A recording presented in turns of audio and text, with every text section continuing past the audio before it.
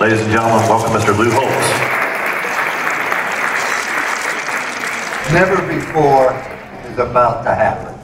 We're going to have a concert at the University of Notre Dame. I can't think of anybody who represents the values of Notre Dame more than Garth Brooks.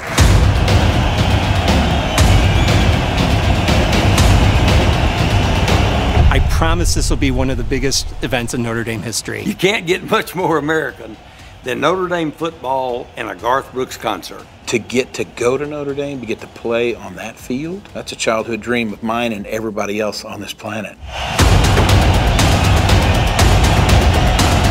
Who better to christen Notre Dame Stadium than Garth Brooks? We wanted to have an iconic performer, to be the first artist to perform in the stadium that Rockne built.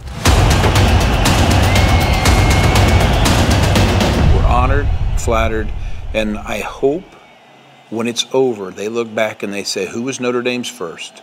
And they're proud to say Garth Brooks.